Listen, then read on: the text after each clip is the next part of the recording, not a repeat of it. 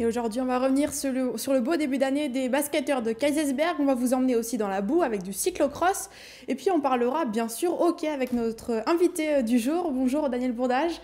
Vous êtes euh, l'entraîneur de l'Étoile Nord de Strasbourg, euh, un, pilier un peu de, de ce club-là. Ça fait bientôt 30 ans que vous êtes là-bas. On va revenir sur, sur votre parcours tout à l'heure. Mathieu, d'abord, on commence avec du football. Ouais, du football, 32e de finale de Coupe de France. Trois clubs alsaciens avaient un programme, enfin plus que deux, puisque le match du Racing a été reporté vendredi. Direction euh, Lameno, où le petit poussé de la Coupe de France, l'Olympique de Strasbourg, avait tiré le gros lot, la Saint-Etienne. Regardez ces images comme prévu, ça a quand même été très compliqué pour les Rouges de l'Olympique de Strasbourg. 6 divisions d'écart qui encaissent un premier but après 3 minutes de jeu seulement. Signé euh, Rémi Cabella, la tête de Loïc Perrin, quelques minutes plus tard, 10 minutes de jeu 2-0. C'est le score à la mi-temps, mais euh, les Rouges vont craquer en tout début, 30 secondes de jeu, vous le voyez, de seconde période, 3-0. Puis Wabi Kazri, Santos également vont marquer deux buts, notamment dans les 10 dernières minutes. Score final 6-0, ça peut paraître lourd, c'est quand même bah, c'est la différence de niveau entre deux équipes, une équipe de Régional 2 et une équipe de haut tableau euh, de Ligue 1. Fin de la belle aventure de l'Olympique de Strasbourg. Eux, leur parcours en coupe avait commencé au mois d'août déjà et dont ils avaient passé euh, tous les tours successifs jusqu'en 32e de finale. Écoutez, euh, et bah, la joie quand même malgré tout des joueurs après cette folle aventure et ce match à la Méno devant près de 7000 spectateurs. C'était compliqué comme on le savait, hein, comme on a pu le prétendre. On a essayé de jouer les coups à fond, mais on savait que c'était une très grosse équipe, Saint-Etienne. Aujourd'hui, je pense que pour la plupart d'entre nous, c'est un rêve qui s'est réalisé. On a joué au stade de la Méno devant entre 8 à 10 000 personnes. En, face de joueurs comme Cabella, Kazri, c'est des joueurs de mythique pour nous, on les voit à la télé tout le temps. Et pour nous, être là face à eux aujourd'hui, c'était un, un, cadeau, vraiment un vrai cadeau. Un peu déçu du résultat, on voulait que ce soit un peu plus serré, mais en même temps, on sait contre qui on jouait, on est lucide. Chapeau en tout cas à l'Olympique euh, de Strasbourg pour ce super parcours. On avait un peu plus euh, d'espoir pour les Verts du Sporting Club de Schiltigheim, club de National 2, de haut tableau hein, de N2 qui euh, jouait contre Dijon, autre club de l'élite, mais club mal en point. ils sont barragistes actuellement en Ligue 1. Ça se passait samedi soir du côté du Stade de l'Art. Regardez, près de 1500 spectateurs pour cette rencontre et les Verts qui ont failli créer la surprise en tout début de match. La tête de Metzler sauvée sur la ligne. 0-0 à la mi-temps jusqu'à cette frappe pleine lucarne de Naïm Stiti un petit peu après l'heure de jeu. Le break pour les Dijonnais en quelques minutes plus tard, Kwon se prend le temps de se mettre sur son pied gauche et fusille Schneider de 0. Mais 2-1 à un quart d'heure de la fin, tout devient possible après ce penalty de Gengini. On y croit, les Verts vont avoir la balle pour égaliser. Vincent Decker au point de penalty, le coup de tête passe malheureusement à côté. Dans le temps additionnel, Tavares inscrira un troisième but, 3 buts à 1, score final. Fin de l'aventure également pour le Sporting Club de Schiltigheim. Un peu plus de regret malgré tout, même si Dijon, comme Saint-Etienne d'ailleurs, avait mis son équipe type, hein, la meilleure équipe possible. Déception quand même mesurée pour les Chilicois. Je pense que surtout les regrets, on peut les avoir à 2-1 avec euh, cette grosse occasion de, de. Maintenant, euh, c'est un peu dommage de, prendre trois buts parce que je pense que c'est assez sévère. Maintenant, euh, voilà, le capitaine en face a reconnu qu'ils ont joué à 100% et je pense que ça s'est vu de toute manière. Ils étaient vraiment concentrés. Je pense qu'on n'a pas à rougir. on a tout donné, on n'a rien à regretter ce soir. Donc voilà, aujourd'hui, le gros est passé face au petit. Et... Mais nous, on va s'appuyer sur ça, sur, sur ça pour, pour notre championnat à nous. Schiltigheim éliminé, l'Olympique de Strasbourg éliminé, tous les euh, espoirs alsaciens reposent donc désormais sur le Racing qui doit jouer euh, désormais un match décalé à Grenoble avant euh, pour un éventuel 16e de finale. On passe au tennis, Marine. Oui, avec l'Alsacien Pierre Gerber qui jouait son premier tournoi de l'année à Doha au Qatar. Regardez ces images. En simple, il s'est d'abord incliné en quart de finale, a noté quand même sa belle victoire contre Dominique Thiem, numéro 8. Et puis là, il est en double en fait avec, on le voit habituellement avec Nicolas Mahut, mais là en fait il est avec un Belge, David Goffin. Ils ont joué ensemble pour la deuxième fois seulement et puis ils ont remporté euh, le titre en, double. Donc la première fois qu'ils ont joué ensemble, c'était il y a 11 ans. Ils avaient perdu en finale alors qu'ils n'étaient que juniors. C'est le premier titre en double pour le Belge, mais c'est déjà le 14e pour l'Alsacien Pierre Gerber. Classement euh, ATP qui a un petit peu évolué pour lui, qui se retrouve 53e euh, actuellement. Regardez cette petite photo bonus de tous les deux. Voilà, c'était la première à gauche à 11 ans. Il y a 11 ans, leur première euh, leur premier double jeu ensemble et puis le deuxième à droite. Euh, hein, voilà. Ils n'ont pas trop changé. Hein. Très bien, on va passer au hockey sur glace avec euh, Daniel Bourdage, entraîneur de l'Étoile Noire. Gros calendrier pour les hockeyeurs. Hein. Il y avait deux matchs au programme ce week-end, un vendredi, un dimanche, et il y en a un demain encore contre Grenoble. Que du, que du lourd en plus. Retour en image rapidement sur le match de vendredi soir. C'était à l'iceberg, la patinoire de Strasbourg. En face, c'était Rouen, un gros morceau du championnat Rouen en jaune, évidemment. Les Strasbourgeois qui ouvrent la marque en milieu euh, de première période par Scott Prier, le Canadien. Rouen, euh, les erreurs se payent cash contre le leader euh, du championnat. Le petit décalage pour aller Hardy un partout à la fin du premier tiers. Strasbourg tient le coup dans cette rencontre face à Rouen. Trois défaites seulement depuis le début du championnat. Meilleure attaque, meilleure défense. Rouen qui prend les devants sur cette action de 1 au milieu du deuxième tiers. Mais les Strasbourgeois vont une nouvelle fois revenir. Le lancer de Morillon, repris devant le but par Romain Chapuis. 2-2. On est à la moitié du match. L'étoile noire est dans le coup. Mais quand Rouen ça fait très mal avec 3 buts en moins d'une minute de jeu dont euh, ce superbe euh, solo slalom euh, d'Alé Hardy qui va offrir un caviar à Bedin pour le but du 4-2, le but du break. Mais action surtout, vous le voyez, le gardien de l'étoile noire, Thomas Jadlowski, se blesse et doit sortir. Les Strasbourgeois qui prennent un cinquième but dans la foulée.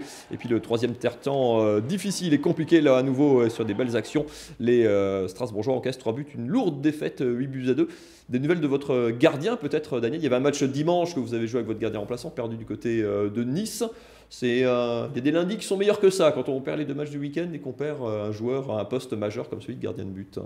Oui, c'est certain que ce n'est pas, pas des nouvelles euh, très agréables à entendre, surtout qu'on est dans le dernier stretch du championnat. On, voudrait éventuellement croire à nos chances de playoff.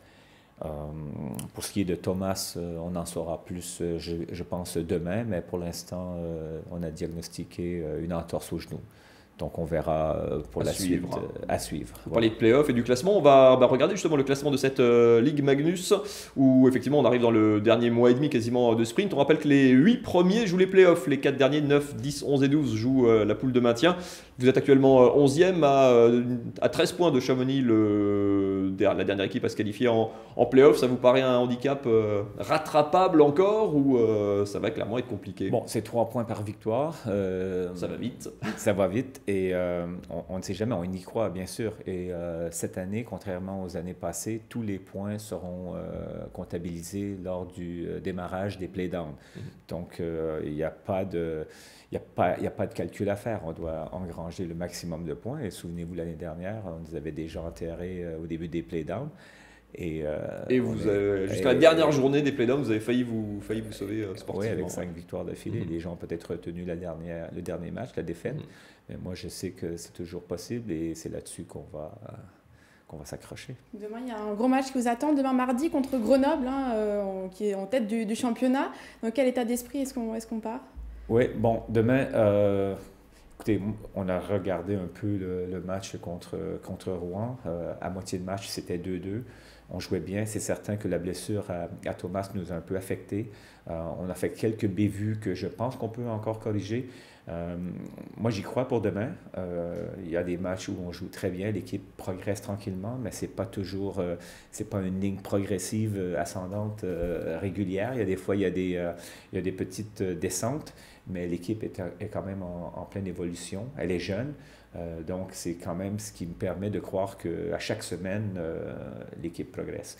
Et si on peut éviter les blessures, si Thomas peut revenir rapidement, euh, je pense qu'on peut faire encore de très belles choses. C'est une équipe un peu en mode, euh, en mode un peu commando cette saison. Enfin, vous avez été repêché un sportivement assez tardivement. Vous avez combattu une équipe jeune avec un des plus petits budgets de la division. Tout le monde vous voyait déjà euh, dernier et, loin au classement. Puis cette équipe, elle est quand même plutôt surprenante. Elle vous le disiez, vous avez cité des grosses perfs. Il y avait une victoire à Angers la semaine dernière.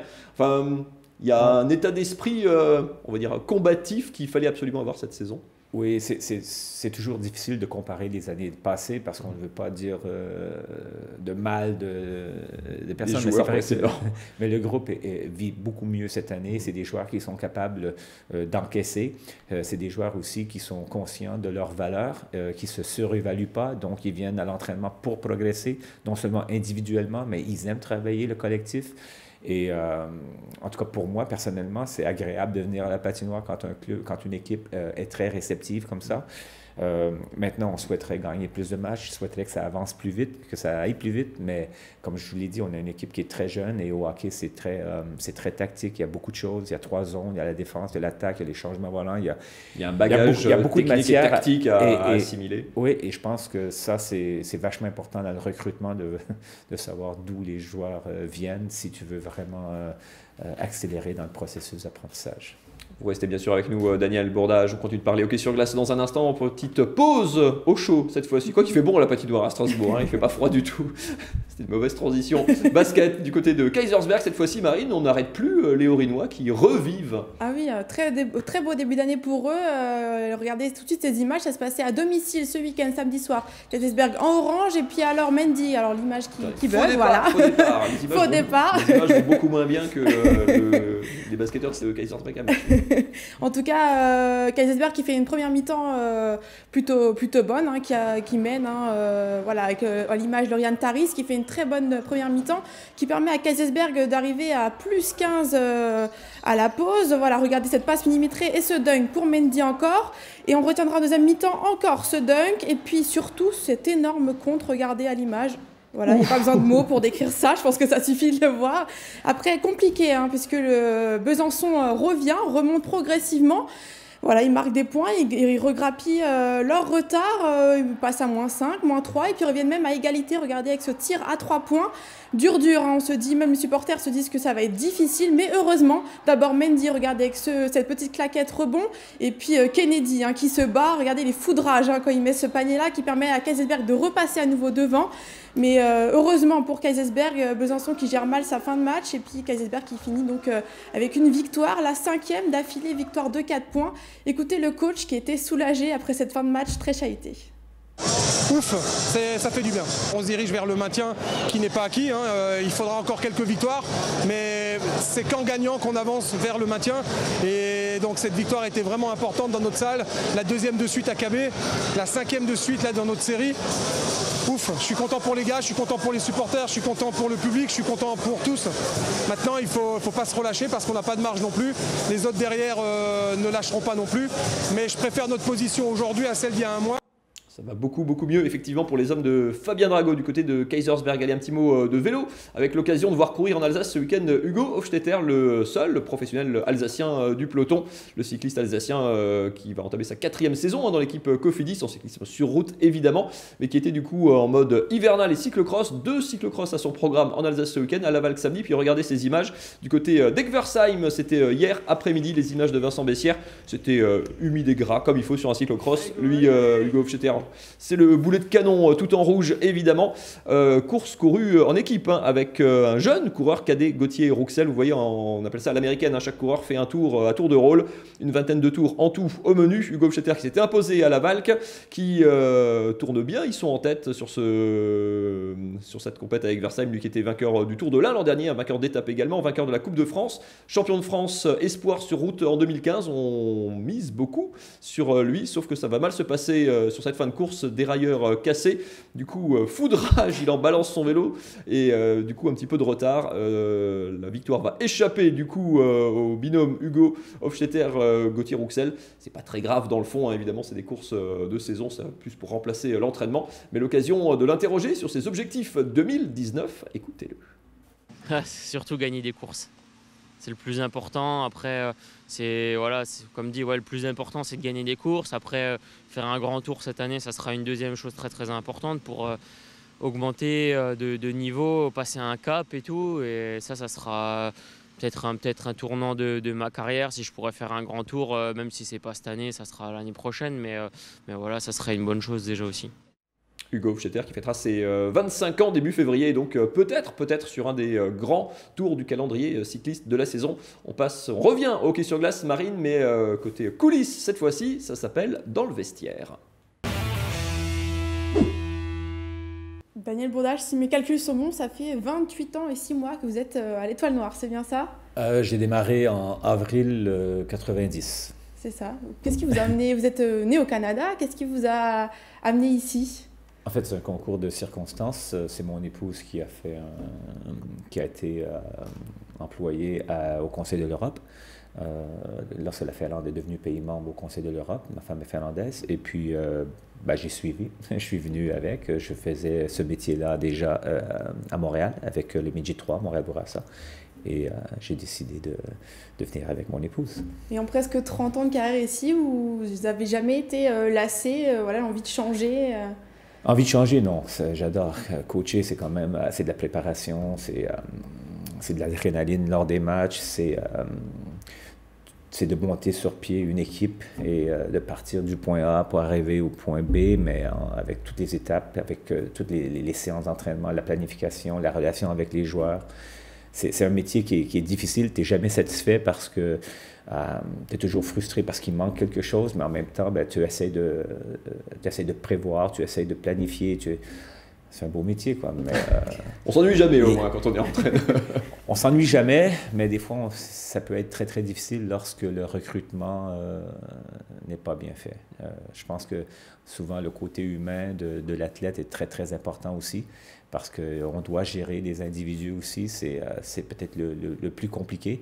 On a un système de jeu sur lequel on veut, on veut montrer, mais il faut qu'il y ait de, de la réception, il faut qu'il y ait quand même les qualités humaines euh, sont quand même euh, très, très nécessaires pour, euh, pour y arriver. Quand vous êtes arrivé, vous aviez un accent quand même assez prononcé, vous l'avez quand même perdu, enfin vous l'avez encore, mais il est diminué. Est-ce que ça vous arrive encore d'utiliser des expressions bien de chez vous et que certains joueurs ne comprennent pas? Quand je parle avec des Québécois, ça revient. par contre, c'est pas, comment je pourrais dire, c'est tu veux te faire comprendre rapidement. Donc, euh, si tu commences à dire euh, il faut que tu fasses la passe par la bande parce que là, ça euh, ça marche pas, puis ton hockey, il faut direct que tu le tiennes de l'autre façon. Là, le joueur va quand même te demander de répéter. Et, à Strasbourg, ben, comme partout ailleurs, tu as 60 minutes d'entraînement. Tu n'as pas une heure et demie ou deux heures. Donc, ça doit aller rapidement. Donc, c'est un peu ça qui m'a obligé à, corriger mes, mon langage, quoi. C'est à corriger façon de parler. Hein. ne se renie pas complètement non plus. Pas du tout. Une dernière pour la route, Marine, rapidement. Combien de temps est-ce que vous voyez encore euh, à, à, la tête de l'étoile noire Encore 28 ans. non, j'y pense, pense pas. Ce qui est important, c'est d'être de, capable de, de, maintenir ces, les nombreux déplacements. On joue quand même 44 matchs, 22 déplacements. Là, on revient de on revient de Gap, hein, donc c'est deux nuits dans le quart. Et on enchaîne, pardon, c'est rapide, mais demain soir, Grenoble à l'iceberg à 20h. Chez Parce nous. que le temps court, on a encore moins de temps que la saison de, hockey. Merci beaucoup, Daniel Bourdage. Marine, on vous retrouve lundi prochain, évidemment.